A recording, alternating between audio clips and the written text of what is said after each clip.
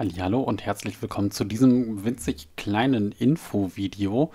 Die Infos in diesem Video beschränken sich allerdings nur auf die visuellen Eindrücke, die ihr hier seht. Und zwar folgendes. Der gute Mike Golz, einer der Entwickler oder eigentlich auch der Entwicklername schlechthin vom Entwicklerstudio TSG, Trains in Germany, hat kommentarlos zwei Bilder gepostet, zwei Screenshots gepostet von der Baureihe 232 von der Ludmilla. Und die gucken wir uns mal ein bisschen genauer an und dann können wir nochmal darüber sprechen, was das Ganze bedeutet. Er hat nichts weiteres dazu geschrieben, sondern einfach nur, ja, wobei doch er hat was dazu geschrieben, nämlich still WIP, also Work in Progress, das heißt also immer noch nicht fertig. Wir schauen uns den ersten Screenshot an, und sehen, ja, Ludmilla 3D-Modell sieht auf jeden Fall sehr, sehr, sehr schön aus. Das ist halt noch natürlich noch nicht fertig. Man sieht zum Beispiel hier die Nummerierung und das Ganze, das, das alles, das passt noch nicht so ganz. Ähm, so richtig fertig texturiert ist das Ganze auch nicht. Äh, ne, also der ganze Ruß, die ganzen Abgase und so weiter, die ganzen Verdreckungen, das fehlt alles noch, aber das ist ja, wie gesagt, alles nur Work in Progress. Man sieht schon hier den Führerstand, dass der schon ein bisschen fortgeschritten ist. So ganz leicht kann man auch in den Maschinenraum hineinlunsen. Also da ist auf jeden Fall irgendwas dahinter. Bin mal gespannt, ob man tatsächlich in den Maschinenraum reingucken kann oder sogar vielleicht durchgehen kann. Bei der 218 konnte man das ja leider nicht. Aber wer weiß, vielleicht wird das ja bei der 232 äh, klappen. Ja, aber ansonsten die Ludmilla, die Baureihe 232, sieht auf jeden Fall schon ziemlich cool aus. Also es bisher, also bisher finde ich sehr gut umgesetzt. Das, was man bisher sehen kann. Ich zeige euch mal direkt den zweiten Screenshot hinterher. Hier mal aus dem Führerstand, hier so richtig schön mit diesem Fahrtisch, ne, so oldschool, als hätte das jemand einfach da so draufgepackt. Ähm, noch sieht das alles hier sehr steril aus. Also, äh, ne, das sieht jetzt nicht so aus, das sieht so ein bisschen so aus, als sei sie jetzt frisch vom Werk. Das wird natürlich in-game nicht der Fall sein. Also lasst euch davon jetzt nicht groß ähm, verwirren.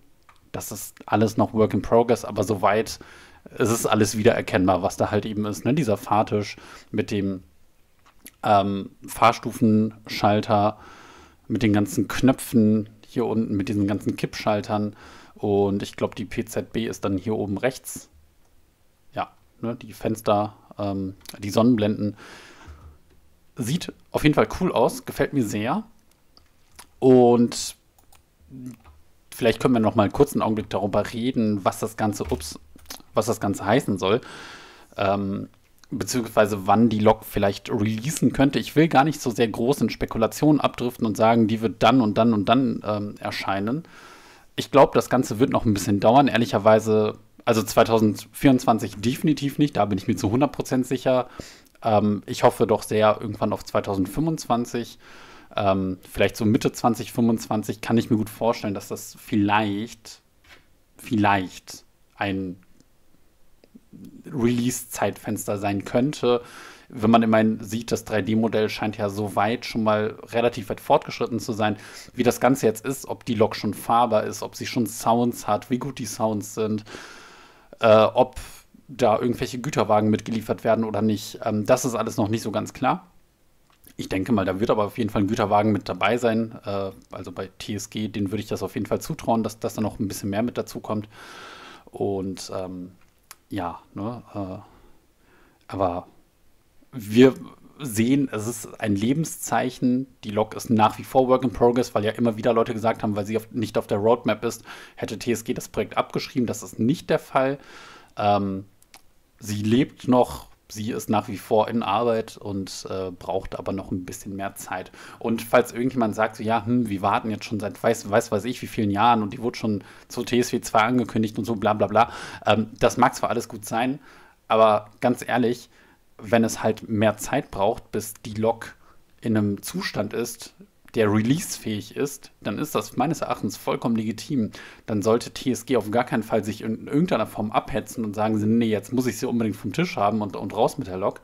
Ähm, ne, wir haben gesehen, was passiert, wenn das ein Entwicklerstudio so macht. Siehe Baureihe 187 von Skyhook Games. Also ich würde halt nicht wollen, dass die äh, 232 dann am Ende Sounds hat von, äh, weiß ich nicht, der Foslo G6 oder so ähm, und, und sich so fahren lässt wie ein ICE. Das würde ich sowieso TSG nicht zutrauen, ähm, weil meines Erachtens TSG für ähm, ja schon eigentlich für Qualität steht, ein ordentliches Qualitätssiegel eigentlich ist. Ne? Also um vielleicht einfach nur mal kurz den Wind äh, aus den Segeln derjenigen zu nehmen, die die ganze Zeit sagen, ah, mh, hm, es dauert schon so lange und wann kommt sie denn endlich mal? Naja, sie kommt halt, wenn, wenn sie fertig ist. Ne? Ähm, ist zwar ein bisschen harsh, so ist das eigentlich nicht von mir gemeint. Ich will das jetzt auch gar nicht so, äh, ähm, so zynisch formuliert äh, wissen. Äh, es ist halt nur ein Argument, das immer und immer mal wieder in der Community auftaucht. Und es hat aber meines Erachtens keinen Sinn, weil wenn sie halt in einem schlechten Zustand erscheint, dann wird sich jeder darüber beschweren, wie kann es sein, dass TSG sowas gemacht hat. Ne? Ach Mensch, jetzt haben wir so eine ganz schlechte 232 im Spiel und werden niemals mehr eine gute bekommen. Ja, ne? also ähm, muss man dann selbst wissen, ob man dann lieber schnell etwas haben möchte in einer schlechten Qualität oder halt eben äh, doch noch mal etwas länger darauf warten möchte, ähm, was ja vollkommen fein ist äh, und dafür vielleicht in einer höheren Qualität. Bis dahin gibt es sicherlich noch die ein oder anderen weiteren neuen Strecken und Fahrzeuge. Die TSG-Strecke, die ja im Bau ist, äh, ist ja auch nach wie vor ja, Work in Progress und wird auch bald, wird ja auch relativ bald vermutlich erscheinen, äh, laut der Roadmap. Aber da wird vielleicht die nächste Roadmap auch ein bisschen mehr dazu sagen, zu der TSG-Strecke und vielleicht aber auch zu 232. Vielleicht steht da ja auch noch mal ein Satz dazu, ähm, wie es aktuell da aussieht. Ähm, Vielleicht noch die letzte Frage, ob die 232 als Fahrzeug mitgeliefert wird für die TSG-Strecke. Ich glaube das nicht.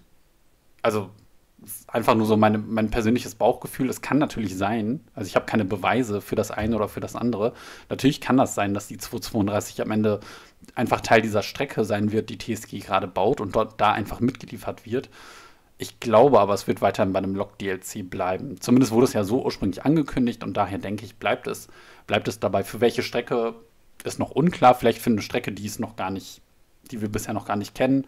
Vielleicht für, ja, ursprünglich wurde sie, glaube ich, für Rosig Nord mal angekündigt, aber ich glaube ehrlicherweise nicht, dass sie für Rosig Nord erscheinen wird. Ähm, aber mal schauen. Ne? Äh, das ist jetzt alles der Bereich der Spekulation. Okay, das war's dann auch schon wieder. Ich bedanke mich ganz herzlich bei euch fürs Zuschauen. Wir sehen uns beim nächsten Mal. Macht es gut und tschüssi.